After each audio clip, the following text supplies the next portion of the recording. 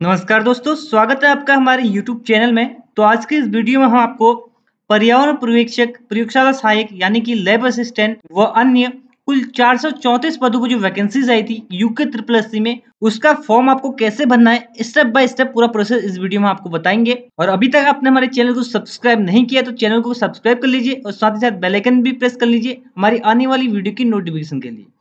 तो चलिए वीडियो को स्टार्ट करते हैं। तो देखिए फ्रेंड्स नीचे डिस्क्रिप्शन में एक लिंक होगा, उस पर आप जैसे ही क्लिक करोगे तो आप आ जाओगे यूके ट्रिपल सी की ऑफिशियल वेबसाइट पर यहाँ पर कुछ आपको ऐसा इंटरफेस दिखेगा। यहाँ से देखिए आप पर्यावरण पर्यवेक्षक और प्रयोगशाला सहायक का नोटिफिकेशन भी डाउनलोड कर सकते हैं। फॉर्म फिल करने से पहले आप नोटिफिकेशन को अच्छे से पढ़ लीजिए। अगर आप एलिजिबल हैं तो ही आप इस फॉर्म को फिल करें। फॉर्म फिल करने के लिए आपको जाना पड़ेगा ओटीआर सेक्शन में। यहाँ पर आपको एक ऑप्शन दिखेगा वन टाइम रजिस्ट्रेशन इस पर आपको क्लिक करना है। इस पर क्लिक करने के बाद फिर यहाँ पर one time registration click here पर क्लिक करना है यहाँ पर। इसके बाद आप आ जाओगे यूके ट्रिपल एस के ओटीआर पोर्टल पर। फ्रेंड्स मैं आपको बता दूँ लैब असिस्टेंट पर्यावरण प्रेक्षक, जो चार पदों में वैकेंसीज आई है, जिसमें विभिन्न प्रकार के पद हैं, उसमें सिर्फ़ आपको एक ही फॉर्म फिल करना है और एक ही बार पेमेंट करनी है। आपको कैसे फॉर्म फिल करना है, वो आगे हम आपको बताएँगे तो इसलिए आपको वीडियो को पूरा देखना है। अब देखिए फ्रेंड्स दो प्रकार के कैंडिडेट होते हैं। एक कैंडिडेट वो, जिन्होंने पहले यूके ट्रिपल में फॉर्म फिल किया है, या यूके ट्रिपल के ओटीआर पोर्टल पर पहले रजिस्ट्रेशन किया है। अगर आपने रजिस्ट्रेशन किया है तो आपको नया रजिस्ट्रेशन करने की ज़रूरत नहीं है। आप ईमेल आईडी और पासवर्ड डाल के इस कैप्चा कोड पर क्लिक करके लॉगिन कर सकते हैं। अगर आप अपना पासवर्ड ईमेल कुछ भी भूल गए हैं तो आप फॉरवर्ड ईमेल या फॉरवर्ड पासवर्ड कर सकते हैं। इसके बाद दूसरे कैंडिडेट जो पहली बार यू की त्रिपसी का फॉर्म फिल कर रहे हैं, पहली बार ओटीआर कर रहे हैं, जिन्होंने अभी तक ओटीआर भी नहीं किया है, उनको कैंडिडेट रजिस्टर हेयर पर क्लिक करना है। और पुराने कैंडिडेट देखिए, जब हम स्टेप सेवन में जाएँगे, वहाँ से आपको कैसे स्टेप को फॉलो करना है, इस वीडियो को आपको भी पूरा देखना है। आपको पता चलेगा कि आपको कैसे फॉर्म फिल करना है। लेकिन आपको रजिस्टर नहीं करना है, आपको डायरेक्ट लॉग इन करना है, ठीक है? तो जैसे ही आप यहाँ पर क्लिक करोगे तो देखिए यहाँ पर देखिएगा आपका पर्सनल इन्फॉर्मेशन यहाँ पर आपको अपना कैंडिडेट नेम डालना है, अपना पूरा नेम डालना है हाई स्कूल के सर्टिफिकेट के अकॉर्डिंग इसके बाद यहाँ पर अपना मोबाइल नंबर डालना है। मोबाइल नंबर एक्टिव होना चाहिए, जिसको ओटीपी आ सके। इसके बाद ईमेल डालना है ईमेल भी एक्टिव होना चाहिए, जिसपे ओटीपी आ सके, ठीक है? सारी डिटेल डालने के बाद यहाँ पर जनरेट ओटीपी पे क्लिक करना है। जैसे आप जनरेट ओटीपी पे क्लिक करोगे तो आपके मोबाइल नंबर या ईमेल आईडी पे एक ओटीपी आएगा। उसको आपको यहाँ पर एंटर करना है, फिर सबमिट करना है। अगर फ्रेंड्स आपके मोबाइल नंबर पर ओटीपी नहीं आता है तो अपने ईमेल आईडी पे चेक कीजिए। वहाँ पर जो भी ओटीपी आए इसको यहाँ पर एंटर करके आपको सबमिट पे क्लिक करना है। इसके बाद कुछ ऐसा इंटरफेस आपको यहाँ पर दिखेगा। आपका name mobile number email ID जो है, पहले ही यहाँ पर रजिस्टर हो गया है। अब इसको आप चेंज नहीं कर सकते हैं और इसके बाद आपको देखिए यहाँ पर नीचे आना है। आइडेंटिटी डिटेल्स में आपको यहाँ पर डालना है। Are you holding an Aadhaar card अगर आपके पास आधार कार्ड है तो यस कीजिए। और यहाँ पर आधार कार्ड नंबर डालिए। यहाँ पर नेम डालिए जो आधार कार्ड में है। अगर आपके पास नहीं तो आप नो कीजिए। इसके बाद आपको देखिए अदर टाइप ऑफ़ आइडेंटिटी देनी पड़ेगी। यानी कि passport PAN card driving licence आप दे सकते हैं। अगर आप यस करते हैं तो देखिए यहाँ पर पूरी डिटेल आपको डालनी पड़ेगी। इसके बाद नीचे देखिए एडिशनल इन्फॉर्मेशन यहाँ पर आपको डेट ऑफ़ बर्थ डालनी है। मैंने यहाँ पर डेट ऑफ़ बर्थ डाल दी है। और जैसे आप डेट ऑफ़ बर्थ डालोगे, आपकी एज ऑटोमेटिक यहाँ पर काउंट हो जाएगी, ठीक है? और एज की गणना एक सात दो हज़ार बीस से की जाएगी, यानी कि एक जुलाई दो हज़ार बीस से की जाएगी। इसके बाद आपको नेशनलिटी यहाँ पर डाल देना है चूज़ करके इंडियन इसके बाद देखिए आर यू ऑर्फेन यानी कि आप अनाथ हैं तो यस कीजिए, नहीं तो आपको नो करना है। इसके बाद देखिए फादर नेम है, यहाँ पर आपको अपना फादर नेम डालना है, यहाँ पर आपको प्रीफिक्स चूज़ कर लेना है, जो भी आप लगाते हैं मिस्टर या श्री, यहाँ पर फादर नेम एंटर कर देना है। इसके बाद अपनी मदर का नेम यहाँ पर डालना है, और प्रीफिक्स यहाँ पर चूज़ कर लेना है मिसेज या श्रीमती, ठीक है? इसके बाद आप मदर का नेम डाल के यहाँ पर आपको बर्थ स्टेट आपका सेलेक्ट करना है, जो भी आपका बर्थ स्टेट है। यहाँ पर आपको देखिए डिस्ट्रिक्ट डालना है और यहाँ पर आपको तहसील डाल देना है। इसके बाद बर्थ सिटी आपको डालनी है। यहाँ पर अपना फ़ोन नंबर डालना है और ये ऑप्शनल है, आप डाल भी सकते हैं नहीं भी डाल सकते इसके बाद देखिए ऑल्टरनेटिव नंबर अगर आपके पास कोई दूसरा फ़ोन नंबर है, उसको डाल सकते हैं या नहीं भी डाल सकते इसके बाद नेक्स्ट है permanent identification mark on body आपके बॉडी में कोई निशान है तो यहाँ पर आप डाल दीजिए। नहीं तो आप नो मार्क कर सकते हैं या इसको ऐसे ही छोड़ भी सकते हैं, ठीक है? इसका देखिए नेक्स्ट है present residential area domicile residential area आप कैसे स्थान पर निवास करते हैं? प्लेन या हिली आपको डालना है यहाँ पर। इसके बाद अपना जेंडर यहाँ पर डालना है। यहाँ पर मेरिटल स्टेटस आपको डाल देना है, जो भी आपका मेरिटल स्टेटस है। इसके बाद नेक्स्ट है डोमिसाइल डिसेबिलिटी डिटेल यहाँ पर देखिए वेदर डोमिसाइल ऑफ़ उत्तराखंड, अगर आपके पास उत्तराखंड का डोमिसाइल है तो यस कीजिए। यहाँ पर आपको स्थायी निवास, यानी कि डोमिसाइल का नंबर डालना है सर्टिफिकेट नंबर यहाँ पर आपको अपना इशू डिस्ट्रिक्ट डालना है और आपको यहाँ पर डेट डालनी है जब कब इशू हुआ तो आपको। अगर आपके पास डोमिसाइल नहीं है तो आप यहाँ पर नो कर दीजिए। आपको इसके बाद देखिए नेक्स्ट स्टेप डालना पड़ेगा। नेक्स्ट स्टेप में देखिए, आप अगर हाई स्कूल इंटरमीडिएट आपने उत्तराखंड से किया है तो यहाँ पर आप यस कर दीजिए और अपनी डिटेल यहाँ पर डाल दीजिए, ठीक है? अगर आप ये भी नो कर देते हैं, यानी कि आप डोमिसाइल भी नो कर देते हैं, इसको भी नो कर देते हैं तो आपको देखिए, तीसरा है, इसको यस करना ही पड़ेगा। अगर आप इसको भी यस नहीं करोगे तो आप फॉर्म फिल नहीं कर सकते, ठीक है? यानी कि इन तीनों में से एक भी कंडीशन आप पे अप्लाई होती है तो आप फॉर्म फिल कर सकते हो। तो जैसे कि मेरे पास डोमिसाइल है तो मैं यहाँ पर यस कर देता हूँ, और मेरे को ये दोनों कंडीशन फिल नहीं करनी पड़ेगी। तो मैं यहाँ डिटेल डाल दूँगा, इसके बाद मैं कैटेगरी में आ जाऊँगा, यहाँ पर कैटेगरी चूज़ कर लूँगा। अगर मेरी जनरल कैटेगरी है तो मेरे को कुछ डिटेल यहाँ पर डालनी नहीं पड़ेगी। अगर मैं ईडब्ल्यू या कोई अदर कैटेगरी चूज़ करता हूँ तो यहाँ पर डिटेल मेरे को डालनी पड़ेगी, ठीक है? जैसे सर्टिफिकेट नंबर इशू डिस्ट्रिक्ट और इशू अथॉरिटी का नेम और सर्टिफिकेट इशू डेट यहाँ पर डालनी पड़ेगी। इसका नेक्स्ट है सब कैटेगरी रिजर्वेशन डिटेल। अगर आप पीएच कैंडिडेट हैं, दिव्यांग है डिफरेंटली एबल्ड पर्सन है तो आपको यहाँ पे यस करना है, नहीं तो नो कर देना है। अगर यस करते हैं तो डिटेल डालनी पड़ेगी। नेक्स्ट है are you ex army person है तो यस कीजिए, नहीं तो आपको नो कर देना है। इसका नेक्स्ट वाला भी ये भी आर्मी पर्सन के लिए है, ठीक है? Soldier welfare rehabilitation office employment exchange में आपका रजिस्टर है तो यहाँ पर डालना पड़ेगा, ठीक है? और नहीं तो आपको नो कर देना है। इसका देखिए are you and departmental of Uttarakhand freedom fighter अगर आपके घर में कोई स्वतंत्रता संग्राम सेनानी है। अगर आप डिपार्टमेंटल है फ्रीडम फाइटर के तो यस कीजिए। और यस करने पे यहाँ पर डिटेल डालनी पड़ेगी। नो करोगे तो यहाँ पर नहीं डालनी पड़ेगी। ठीक है? इसके बाद आपको सेवन नेक्स्ट पे क्लिक करना है। तो जैसे ही आप सेवन नेक्स्ट करोगे, आप आ जाओगे नेक्स्ट स्टेप पर। यहाँ पर देखिए आपको अपना परमानेंट एड्रेस और करस्पॉन्डेंस एड्रेस डालना है। देखिए परमानेंट एड्रेस क्या होता है? जहाँ के आप स्थायी निवासी है, ठीक है? और करस्पॉन्डेंस एड्रेस होता है जहाँ अभी जेंट में आप रह रहे हैं, ठीक है? तो परमानेंट एड्रेस में आपको रूम नंबर डालना है हाउस नंबर अगर नहीं है तो आप इसको छोड़ सकते हैं। इसके बाद बिल्डिंग नंबर आप बिल्डिंग नेम आपका नहीं है तो छोड़ सकते हैं। ठीक है, इसके बाद यहाँ पर पोस्ट ऑफ़िस नेम आपको डाल देना है। एरिया एंड लोकेलिटी अगर नहीं है तो छोड़ सकते हैं। लैंडमार्क है तो डाल दीजिए। इसके बाद स्टेट आपको सिलेक्ट करना ज़रूरी है और डिस्ट्रिक्ट आपको डालना है, तहसील आपको डालनी है। विलेज का नाम आपको यहाँ पर डाल देना है पिन कोड यहाँ पर डाल देना है और नियरेस्ट पुलिस स्टेशन का नाम यहाँ पर डाल देना है। ठीक है, ये सारी डिटेल डालने के बाद अगर आपके दोनों एड्रेस सेम है तो यहाँ पर आपको टिक कर देना है। ऐसा करने से आपके दोनों एड्रेस सेम हो जाएँगे। अगर नहीं है तो यहाँ पर इसको टिक नहीं करना है और यहाँ पर करस्पॉन्डेंस एड्रेस की डिटेल डालनी है। इसके बाद आपको सारी डिटेल फिल करने के बाद सेव एंड नेक्स्ट पर क्लिक करना है। तो जैसे ही आप इस पर क्लिक करोगे, आप आ जाओगे स्टेप थर्ड में।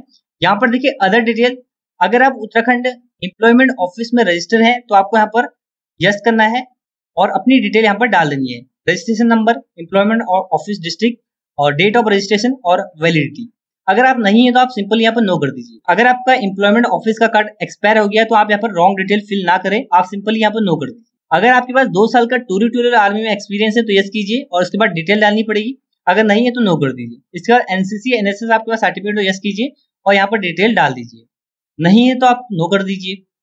इसके बाद देखिए ब्लैक लिस्ट डिक्लेरेशन अगर आपके ऊपर कोई क्रिमिनल केस है तो यहाँ पर यस कीजिए और नहीं है तो नो कर दीजिए। इसके बाद अगर आपको UPSC SSC state PCS board ने कभी ब्लैक लिस्ट किया है तो यस कीजिए, नहीं तो नो कर दीजिए। नेक्स्ट है अदर डिटेल ऑफ़ कैंडिडेट यहाँ पर आपको देखिए प्लेस ऑफ़ रेजिडेंस अगर आप ग्रामीण एरिया से तो आप रूरल करेंगे, अगर आप शहरी एरिया से तो आप अर्बन करेंगे, ठीक है? इसके बाद देखिए प्लेस ऑफ़ स्कूलिंग इसमें भी आप रूरल अर्बन सेलेक्ट करेंगे। नेक्स्ट है type of institute of class tenth qualification अगर गवर्नमेंट से किया तो गवर्नमेंट कीजिए और प्राइवेट से किया तो प्राइवेट कीजिए। फादर का क्वालिफिकेशन डालना है। फादर का ऑक्यूपेशन व्यवसाय क्या है फादर का? तो आपको यहाँ पर डाल देना है। इसके बाद देखिए मदर क्वालिफिकेशन डालनी है, जो भी आपकी मदर की क्वालिफिकेशन है। मदर का ऑक्यूपेशन डालना है और इसके बाद देखिए मोड ऑफ़ प्रिपरेशन कैसे आप तैयारी करते हैं। नेक्स्ट आपको फैमिली की एनुअल इनकम यहाँ पर एक सेलेक्ट कर लेनी है जो भी आपकी फैमिली की एनुअल इनकम है। ठीक है? इसको सेलेक्ट करने के बाद आपको सेवन नेक्स्ट पे क्लिक करना है। देखिए, इसके बाद हम आगे स्टेप फोर में, यहाँ पर देखिए हमें क्वालिफिकेशन डिटेल डालनी है। सबसे पहले हम डालेंगे टेंथ की डिटेल यहाँ पर हम टेंथ सेलेक्ट करेंगे हाई स्कूल इसके बाद ईयर सेलेक्ट करेंगे। जिस भी ईयर में हमने हाई स्कूल पास किया है तो मैंने 2015 में किया है। इसके बाद कोर्स का नाम एजिटिक इसको सेलेक्ट कर लेंगे। सब्जेक्ट यहाँ पर इसको सेलेक्ट कर लेंगे। इसके बाद स्टेट आएगा तो यहाँ पर आप स्टेट डाल दीजिए अपना। इसके बाद बोर्ड यूनिवर्सिटी यहाँ पर ध्यान दीजिए फ्रेंड्स अगर आपका बोर्ड उत्तराखंड बोर्ड है तो स्टेट बोर्ड कीजिए। अगर आपका सीबीएसई है सीबीएसई कीजिए। अगर आपका बोर्ड इसमें नहीं है तो आपको अदर बोर्ड पर क्लिक करना है। तो मेरा उत्तराखंड बोर्ड है तो मैंने यहाँ पर क्लिक कर दिया। रिज़ल्ट में आपको पास कर देना है। कोर्स ड्यूरेशन आपको वन ईयर डाल देना है टेंथ का। रिमार्क आप छोड़ दीजिए। डालना चाहते तो आप कुछ भी डाल सकते हैं। रिज़ल्ट टाइप में आपको मार्क्स डालना है। सीजीपीए जो भी आपका है तो मेरा मार्क्स मैंने मार्क्स सेलेक्ट कर लिया। आउट ऑफ़ मतलब टोटल मार्क्स कितने हैं? ऑप्टेन मार्क मतलब आपके टोटल कितने मार्क्स आए? परसेंटेज ऑटोमेटिक आ जाएगी। और यहाँ पर आपको डिवीज़न डाल देनी है, जो भी आपकी डिवीज़न है। इसको ऐड कर देना है। इसी प्रकार से आपको देखिए डालनी है ट्वेल्थ की डिटेल, टेन प्लस टू, और देखिए जो चार सौ चौंतीस पोस्ट पे वैकेंसीज आई है तो ट्वेल्थ की डिटेल डालनी इंपॉर्टेंट है, ठीक है? तो ट्वेल्थ की मैं डिटेल डालता हूँ, टेन प्लस टू, ईयर मैंने डाल दिया यहाँ से। जिस भी ईयर में पास किया है तो कोर्स में देखिए आपको साइंस डालना ज़रूरी है। अगर आप आर्ट से किया तो आप इस फॉर्म को नहीं फिल कर सकते तो आपको यहाँ पर साइंस सेलेक्ट करना पड़ेगा। इसके बाद देखिए सब्जेक्ट देखिए, यहाँ पर आपको अपने सारे सब्जेक्ट चूज़ कर लेने हैं वन बाय वन, पहले मैंने हिंदी कर लिया, इसके दूसरा है इंग्लिश तीसरा मैंने केमिस्ट्री कर लिया। चौथा मेरा फिजिक्स था। और पांचवा मेरा है मैथ अगर आपका बायोलॉजी है तो बायोलॉजी सेलेक्ट कर लीजिए। ठीक है? इसका स्टेट आप डाल दीजिए। बोर्ड का नाम आप डाल दीजिए, जो भी आपका बोर्ड है। रिज़ल्ट टाइप में आप पास कर दीजिए। कोर्स ड्यूरेशन वन ईयर और रिमार्क आप छोड़ सकते हैं। और मेरा ये मार्क्स आ गया। फाइव हंड्रेड परसेंटेज ऑटोमेटिक आ जाएगी और डिवीज़न यहाँ पर मैंने सेलेक्ट कर लिया। देखिए, फिर इसको आपको ऐड कर देना है। और यहाँ पर देखिए आपकी टेंथ की डिटेल ट्वेल्थ की डिटेल ऐड हो गई है। अब आपको अपनी ग्रेजुएशन की डिटेल ऐड करनी है। देखिए फ्रेंड्स कुछ पोस्टें ऐसी है जिनमें सिर्फ़ ट्वेल्थ पास हो तो आप फिल कर सकते हो और कुछ पोस्टें ऐसी है जिनमें आपको ग्रेजुएशन की डिटेल डालनी पड़ेगी। अगर आप ग्रेजुएट नहीं हो तो आप ट्वेल्थ पास के लिए एलिजिबल हो जाओगे और ट्वेल्थ पास जो वैकेंसीज है उसका फॉर्म आप फिल कर सकते हो। अगर आपके पास ग्रेजुएशन की क्वालिफिकेशन है बीएससी है तो आप इसको ऐड करके नेक्स्ट पे आपको क्लिक करना है, ठीक है? आप ग्रेजुएशन की डिटेल यहाँ से ऐड कर सकते हैं, यहाँ पर ग्रेजुएट करके। अगर नहीं हो तो आप इसको छोड़ दीजिए और यहाँ पर फिर नेक्स्ट पे क्लिक करना है।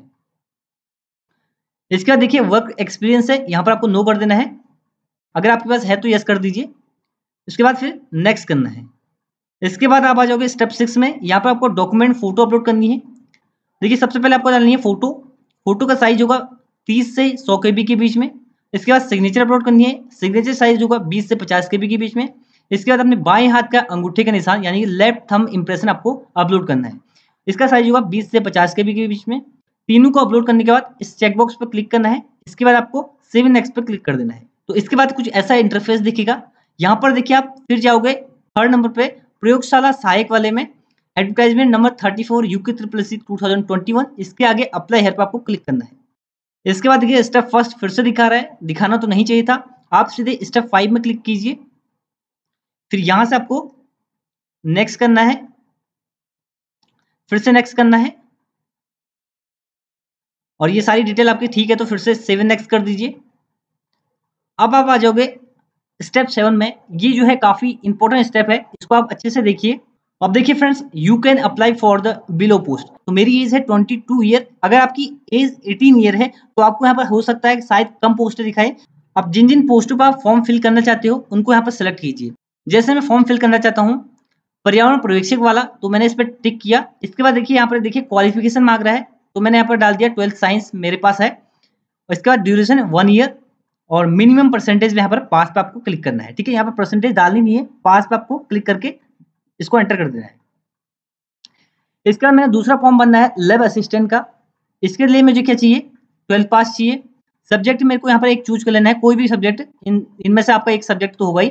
उसको सिलेक्ट करने के बाद आपको यहाँ पर ड्यूरेशन डाल देनी है वन ईयर और परसेंटेज में आपको यहाँ पर पास कर देना है, ठीक है?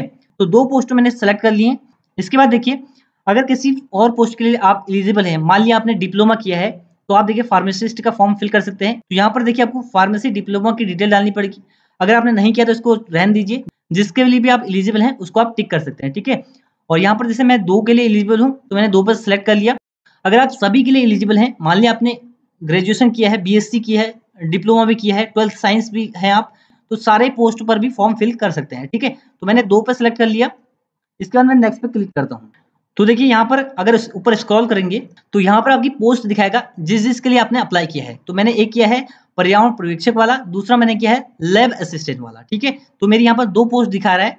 इसके बाद आपकी सारी डिटेल दिखाएगा। अगर आपकी डिटेल में कुछ मिस्टेक है तो आप यहाँ से एडिट कर सकते हैं। और फ्रेंड्स यहाँ पर थोड़ा ध्यान दीजिएगा, अगर आप किसी पोस्ट के लिए एलिजिबल नहीं है, आपसे गलती से टिक हो गया है तो यहाँ पर आपको फिर एडिट भी कर सकते हैं। इसके बाद आप सारे सेक्शन को एडिट कर सकते हैं। सभी डिटेल को चेक कर लीजिए अच्छे से। सभी डिटेल को चेक करने के बाद आपको जाना है प्लेस पे। यहाँ पे आपको अपना प्लेस डाल देना है जहाँ से आप फॉर्म फिल कर रहे हैं। इसके बाद देखिए exam centre preference first choice आपको डालनी है, जो भी आपकी फ़र्स्ट चॉइस है। इसके बाद आपको सेकंड चॉइस डालनी है। नेक्स्ट आपका पेमेंट गेटवे यहाँ पर देखिए आपको तीन गेटवे दिखाए गए हैं। आप किसी एक गेटवे से पेमेंट कर सकते हैं। आपका कोई भी कार्ड हो, चलेगा। आपके पास एस बी बैंक किसी भी बैंक का कार्ड हो, उससे आप पेमेंट कर सकते हो। तो मैंने एच डी सेलेक्ट कर लिया। पे पे मैंने क्लिक कर दिया। इसके बाद आपको एग्री एंड पे पे क्लिक करना है। इसके बाद आपको पेमेंट गेटवे दिखेगा। यहाँ पर आपको यहाँ पर आप देखिए debit card credit card net banking किसी से भी पेमेंट कर सकते हैं। तो मैं डेबिट कार्ड से करना चाहता हूँ। यहाँ पर मैं कार्ड नंबर डालूँगा। एक्सपायरी डेट सी मेरे को डालना है, जो कार्ड के पीछे होता है। इसके बाद मैं मेक पेमेंट पे क्लिक करूँगा। मेक पेमेंट पे जैसे ही क्लिक करूँगा, आपके मोबाइल नंबर एक ओटीपी आएगा, उस ओटीपी को यहाँ पर एंटर करने से आपका पेमेंट सक्सेसफुली हो जाएगा। आपके तीन सौ रुपए कट जाएँगे और आपका आपका फॉर्म जो है सक्सेसफुली सबमिट हो जाएगा, ठीक है? इसके बाद आप अपने फॉर्म का प्रिंट भी ले सकते हैं। तो इस प्रकार से आपको स्टेप बाय स्टेप पर्यावरण पर्यवेक्षक का फॉर्म फिल करना है। अगर इसके बाद भी आपको कोई समस्या आती है या आपकी कोई क्वेरी है तो नीचे आप कमेंट कर सकते हैं, उसका रिप्लाई हम कमेंट बॉक्स में देंगे। तो ये था इस वीडियो का end thanks for watching and God will sure